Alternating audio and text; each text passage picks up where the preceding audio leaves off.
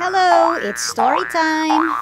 Today's story is Dear Zoo by Rod Campbell. I wrote to the zoo to send me a pet. They sent me an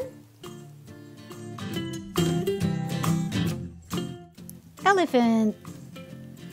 He was too big. I sent him back. So they sent me a giraffe. He was too tall. I sent him back. So they sent me a lion. He was too fierce. I sent him back. So they sent me a camel.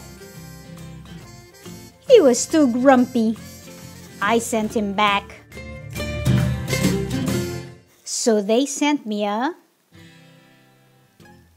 snake. He was too scary. I sent him back.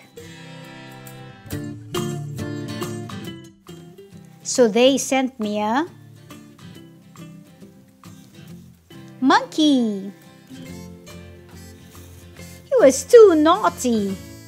I sent him back. So they sent me a frog. He was too jumpy. I sent him back. So they thought very hard and sent me a